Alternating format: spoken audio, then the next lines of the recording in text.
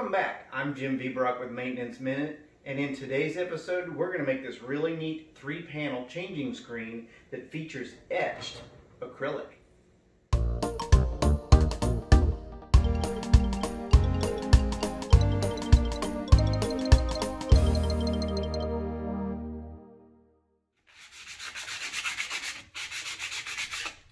My wife absolutely loves Pinterest. She's always on there looking for really cool projects to try and make, and of course for me to build. That's how our project today gets started. She found this really cool dressing room screen and she wanted me to build one for her so that she could take it to work. So I'm going to show you how to build one step by step. All right, one of the first things I need to do is start laying out some of the material. I'm using uh, some pine material that I have around, some number two pine that I, I bought um, from my favorite box retailer. Um, this was actually Lowe's. And since we, I cut it up and manipulate it through the different planers and shapers and different stuff, this works fine for me. So um, number two pine um, from your big box retailer, and I am, our screens that we're going to make today are about five foot tall. So I'm going to lay out the first one here by um, take a measure, and I'm going to make my mark at five foot, and I'm going to cut this off, and then we're going to rip these down and start to put together some of the pieces for you. Um, again, you know, safety is always your main concern when you're using uh, power tools. You can lose a finger in just a heartbeat. Um, so always wear your safety glasses and uh, take safety precautions. Okay, the next thing we're going to do is turn the boards that we just cut into inch and a half strips. Um, one of the things, well, first thing I want to do is apologize for all the debris in the background. We have sold this building, and this is probably the last project I'll get to do in here. So we've got a lot of stuff being moved around. Don't normally keep a shop this dirty. Um, I like to have a clean shop because it's way safer.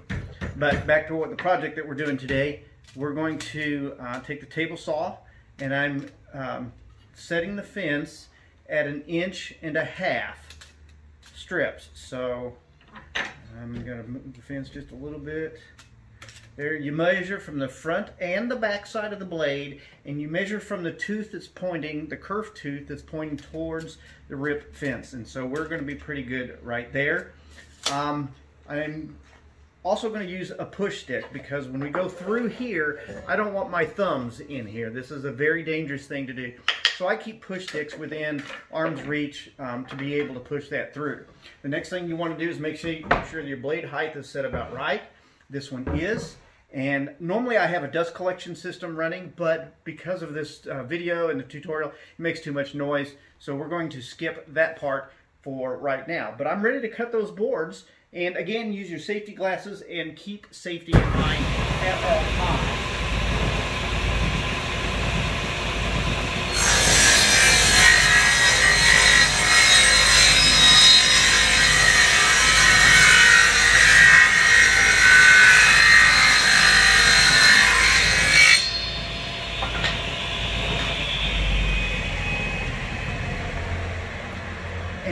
Tell, that's really all there is to cutting the side strips on this. Now we're going to cut a groove right down through here in just a minute to hold a piece of plywood in place. But this is one of the side stiles, um, and so it's going to work out pretty good.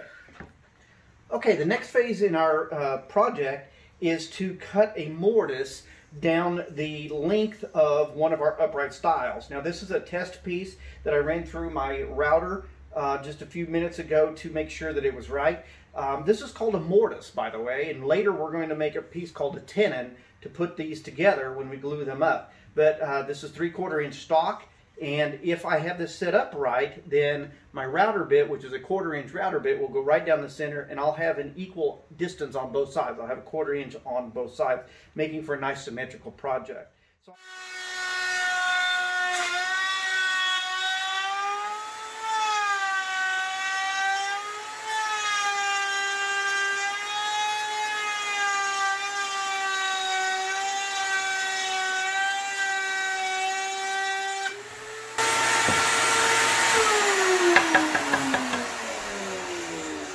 there you have it. There is your mortise cut in that, that piece. And um, what we'll do is take a piece of quarter inch plywood similar to this a little bit later on, and it will slide tightly and nicely right into that groove and be nice and firm. The next thing we're going to do is have a two and a half inch stile in the center of our panel. So I'm going to take the remaining lumber I had off of my one by six that was 10 foot long and I'm going to run it through the table saw. And again, I've got my fence set at two and a half and I got my push sticks close and we're going to run that board through. Okay, the next thing we gotta do is a little bit of cipher in here. So these are my two stiles on the outside edge. You can see we've got the mortises in them. So I laid them side by side. I'm just gonna check them to make sure that they are a total of three inches, and they are. So I've got my stile piece here. My total outside diameter, or my total outside dimensions on the, the panel is 16 inches. So I need to subtract the 3, which is 13 inches, but I have to prepare for the tenon to be here. And my tenon is going to be a quarter of an inch. So I go to, from 16 inches to 13 inches to 13 inches and a half. So I'm going to take and measure this out at 13 and a half. And then I'm going to go over to my chop saw and cut three of them out because I need three of them total.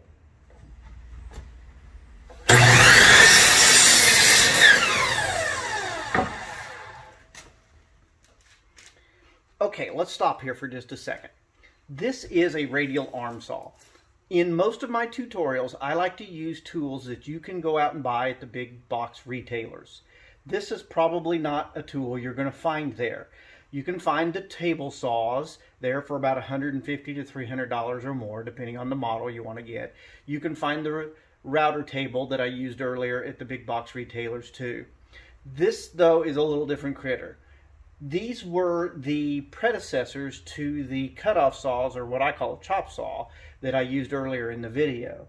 These are still great tools. I use this one permanently set up to cut my tenons and I keep it set to where it perfectly matches the mortises that we cut with the router table just a little bit ago.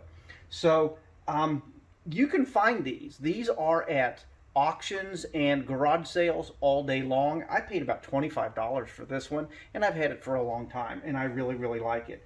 So with it, I'm going to make the tenons that go with the mortises. Now you can do your tenons on your table saw just like I'm going to show you here. Um, you can also do your tenons on your router table, but I'm going to use this because I already have it set up and I'm very familiar with it, but there are other ways of doing it. You can also do your tenons with a chisel and a hammer, the way they used to do it in the old days. But okay, with all of that said, I'm going to now make my tenon. So what I've done with my radial arm saw is I've put a block of 2x4 here, and I've clamped it down with a clamp, and it will match the depth I need to fit into the mortise. I've also raised the blade up so that it will come across the workpiece and create that male version of the work, which we're going to call the tenon. I have to make several different passes here to clean this out. Um, some of you who are more advanced woodworkers aren't going to like this technique, and all I can do is apologize for it. These tutorials are for beginner users, uh, beginner woodworkers, and this technique works. It's not perfect. It's not as uh, high a level of quality, perhaps, as is some more experienced woodworkers, but that's not what today's tutorial is all about. So now I'm going to cut my tenons on my actual pieces.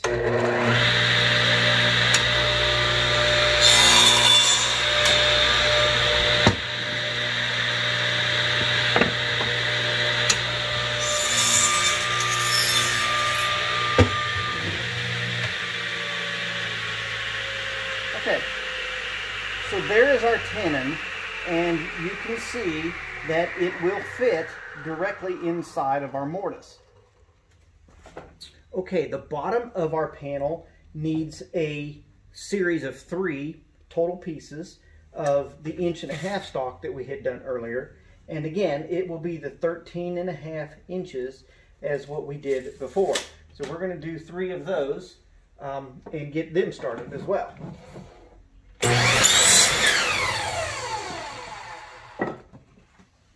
And we have to cut the tenons on these too.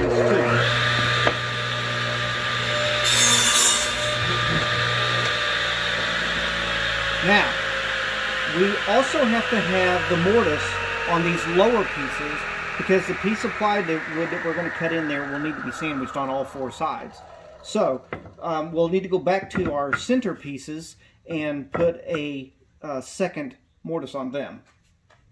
Okay, so back over at the work table, I've taken a pattern. This is off of a library desk that I've built multiple times. Um, so there's no point in reinventing the wheel. So I've taken this uh, scrap piece of plywood. I'm going to make it a template for that I'll be able to keep and not have to redo this again. So I'm simply going to line this up to where um, it fits at the top center of my new template.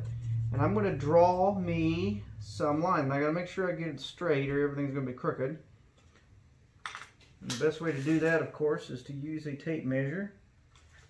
That's right at a half inch. Come up just a skosh. Okay. All right, so now I'm going to draw these lines, and I'm not going to put these little whoop-de-doos on there. I'm just going to go to the bottom and then trace my curve just to the bottom of that, and then I'll freehand it from there. Okay, so I can set this aside, and then I'm going to take my square and just connect those lines right across like that. Now I can slick this up a little bit if I wanted to a little bit later, but that gives me a good pattern that I'll be able to cut out and, and use so that all of the tops are symmetrical. So this is the next piece we're going to start to cut. Okay, I'm now ready to cut out my template. I have clamped it to my table. I've made sure I got plenty of space on the backside so I don't actually cut into my table with my jigsaw. Now you could use a scroll saw for this or you could use a bandsaw for this. Um, or you could even take your time and use a coping saw and do it by hand if you wanted to. I'm going to use my trusty old jigsaw. I've had this thing for probably 30 years and it always works real good for me. Um, I like templates because I don't like to have to redo things all of the time. So I will cut this out and then I will keep it after this project in case I want to make some more of these panels later.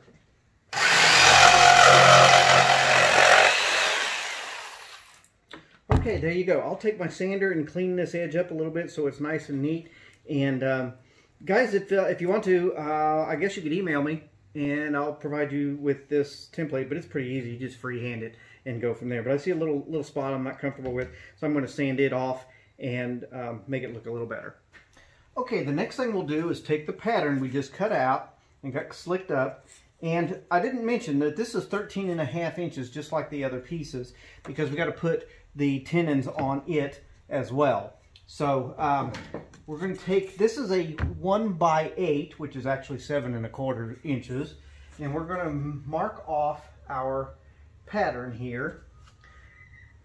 And then we'll cut these out individually. So we need three of these because we're doing three panels for this particular setup. And don't forget if you do what I'm doing right here, you got to leave the space for the blade width. So you can't butt that up exactly um, up to the next pattern over because you got to leave that little space for my blade width. Just a little tip there. You'll end up with a piece that's short if you do that. And you got to do the same thing here because um, you end up again short, and that's that's always frustrating. And not to mention that you know materials are so expensive these days. So you want to not make too many mistakes if you can help it. But you can see the benefit of the pattern right here with what I'm doing is that I don't have to reinvent my curve every time. I have three that are the same. Okay, as you can see, I've got my pieces clamped up to cut out with my jigsaw. Now I want to point out that I went ahead and did my tenons on here because it's way easier to cut them when I have a flat face here to be able to put up against the fence to work. You don't want that walking and ribbling around that way. So I pre-cut my tenons on this piece um, and it'll just work out a little bit easier. So that's a good tip.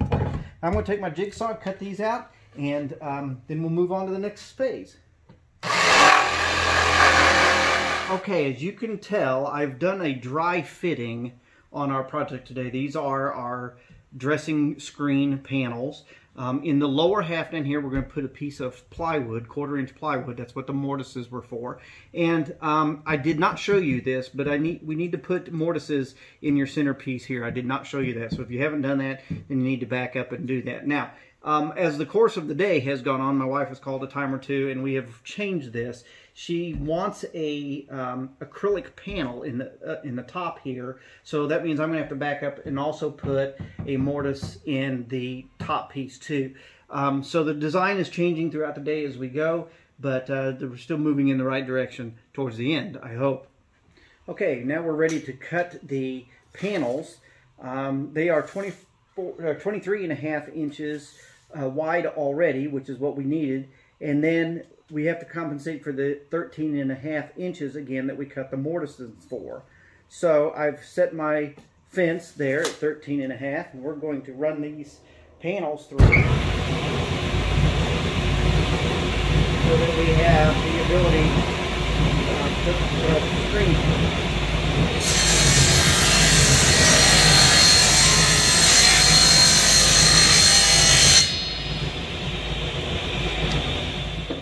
Okay, I have my quarter inch acrylic sheets set up and ready to cut, just like we did the plywood panels. But I have to stop here. Cutting acrylic is dangerous. It can splinter and it can shatter um, a lot like glass can, and it sends these really sharp plastic pieces, you know, all up and down your arms and stuff. So please wear your safety goggles and things like that. Um, hopefully I can get three pieces cut without um, them busting. So here we go.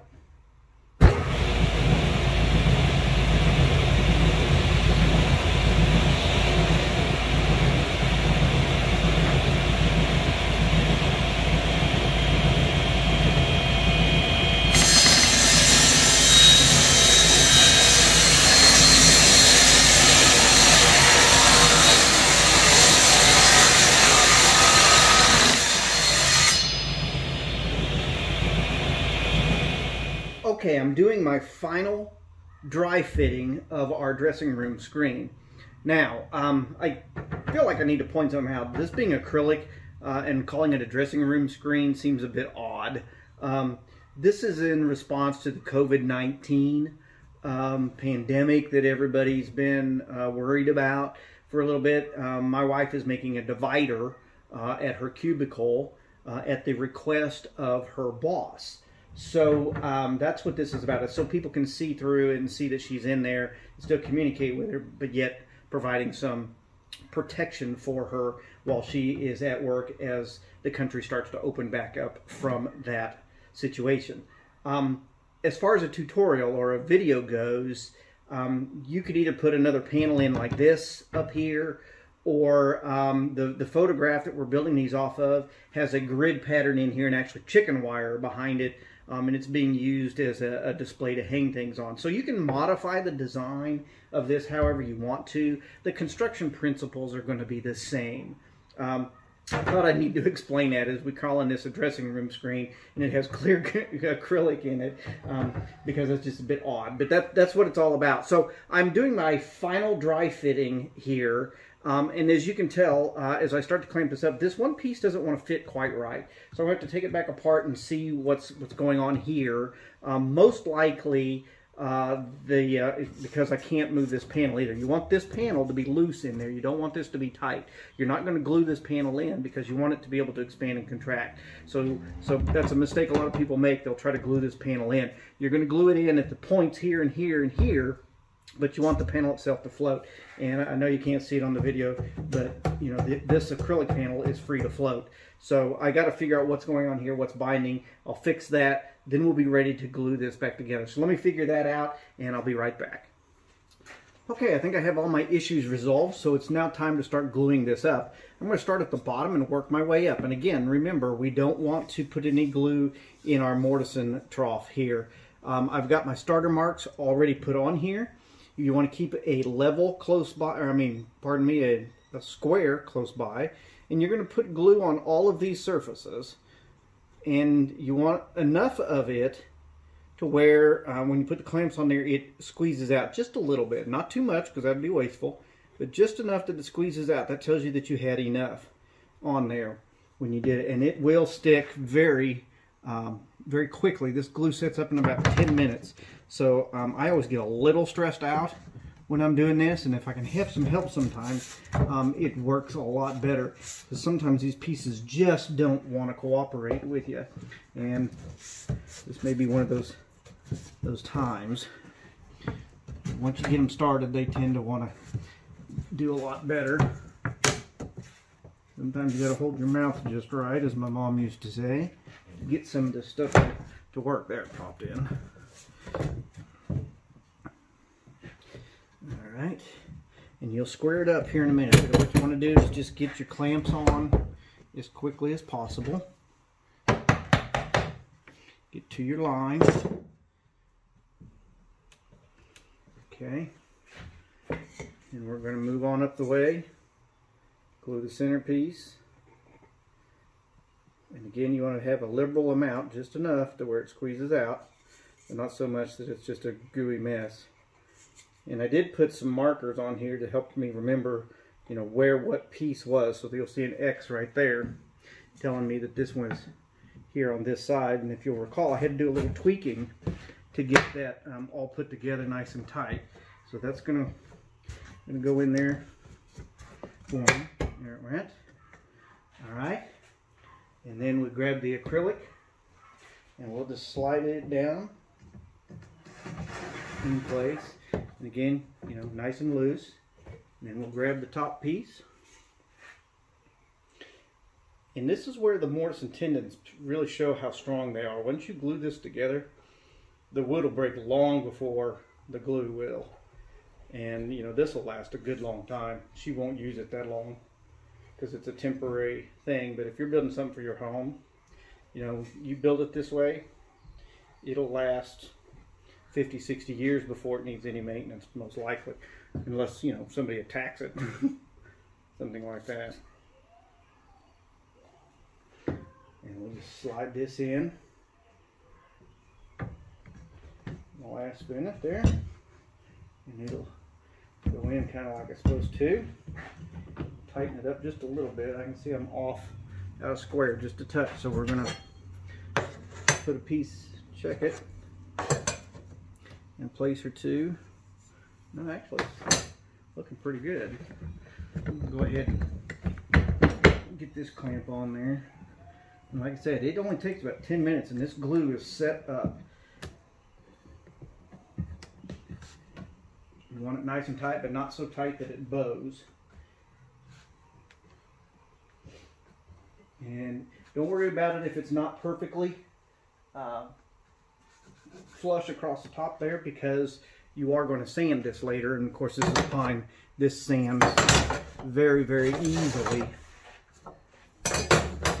Looks like it went in there pretty good. I'm going to let this sit up for about 10 minutes.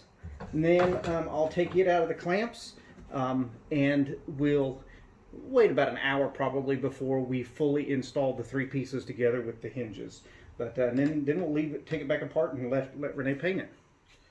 Okay, about an hour has passed and I have taken the panels out of the glue clamps now and we're really ready to finish this project up. I'm going to get my sander out and I'm going to clean up these edges a little bit and just kind of um, clean it up a little bit. She wants a rough finish because she's going to distress this. So I'm not going to get real carried away with the sanding, but I'm just not completely pleased with the way some of these joints have fit up. So I'm going to smooth them up, um, and then I'll turn this over to her for some painting. So anyway, we'll get started with it. Okay, you can see I've got all three panels are done. They've been sanded. We're going to clean these up real good. Then we're going to take them to a dust-free environment and paint them and put them for their final assembly and I'll show you what that looks like after it's done. Now that we're in a dust-free environment, we have placed several coats of gray paint on our project as a base coat and have allowed it to dry. Next, Renee uses a lime wash glazing paint to create the distressed look on the changing screen. The lime wash glazing is available at your favorite craft store or in the paint department of your favorite big box retailer. While that is drying, she artistically creates the design for the acrylic panels, using her Silhouette Cameo vinyl cutter. The vinyl cutter makes it easier to reproduce multiple matching designs.